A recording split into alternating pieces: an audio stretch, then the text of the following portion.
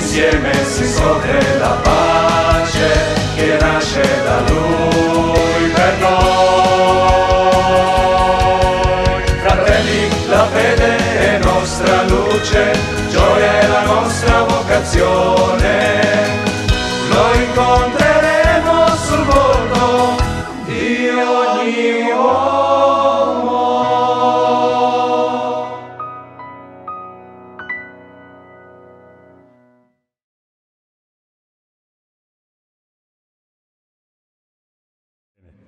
Io, fratelli, mi sono proposto di, di dirvi qualcosa su questa Chiesa. Non voglio fare raccomandazioni, ma spiegare questa Chiesa. Dodici anni fa, il capitolo generale, ci riunivamo a pregare sotto, non nella cripta, ma più o meno in un sotterraneo, in un, quasi in una cantina. Questo spazio veniva usato per, eh, per lo sport, per fare le, le partite di pallavolo o le partite di pallacanestro. Originariamente doveva essere la chiesa e la chiesa di un quartiere che avrebbe dovuto sorgere qui attorno. Poi, durante il primo sessennio, a un certo punto cominciava a piovere, quando pioveva l'acqua scendeva e rischiava di arrivare anche sotto dove pregavano i frati. Abbiamo deciso che bisognava fare qualcosa, abbattere o rinnovare. Abbattere non era più possibile perché passati 50 anni non si può farlo. Allora abbiamo chiesto anche ai nostri fra- dei fratelli di farci un progetto e un fratello americano fece il progetto di costruire come una porziuncola una chiesetta dentro in questa struttura. E da lì è nata l'ispirazione di creare uno spazio raccolto per la preghiera.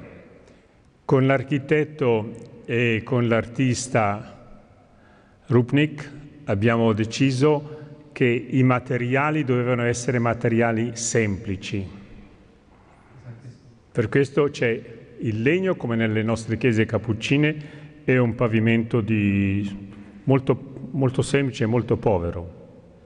Nelle chiese cappuccine, lateralmente all'altare, ci sono sempre degli spazi di preghiera nascosti.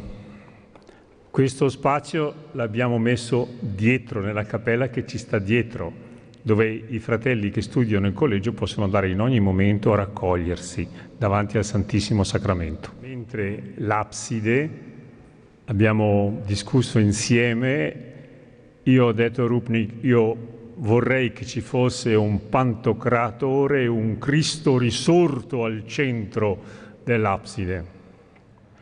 E lui ci ha messo, ha messo il pantocratore in una forma che sembra un calice, ma il calice è il simbolo dell'abbondanza, il simbolo della festa. Mentre qui alla destra, alla mia destra, io ho chiesto che rappresentasse l'incontro di Mosè con il roveto ardente.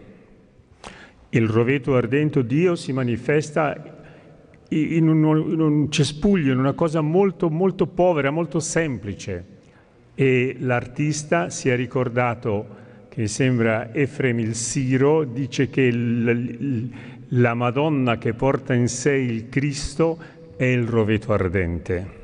Mentre sulla sinistra in un primo momento doveva esserci, essere rappresentata l'incontro di Maria e Elisabetta, i due, dire, i due testamenti che si incontrano.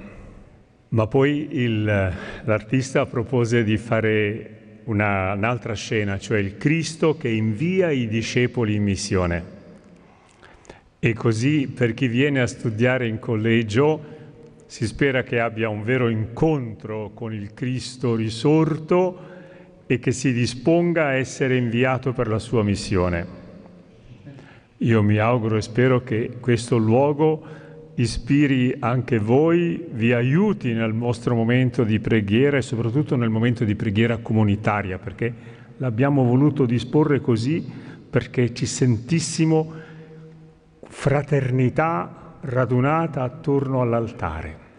Questo è un luogo per lodare Dio e lo lodiamo noi e lo lodano anche tutte le sue creature, perché quanto è rappresentato sul pavimento questi animali, uccelli, fiori, funghi, tutto, eh, pesci, perché tutto quanto dà lode al Signore.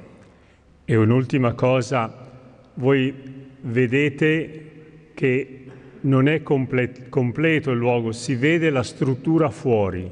Perché questo? Perché tutte le nostre strutture sono di passaggio, noi siamo in cammino verso una patria che è la patria celeste. Grazie.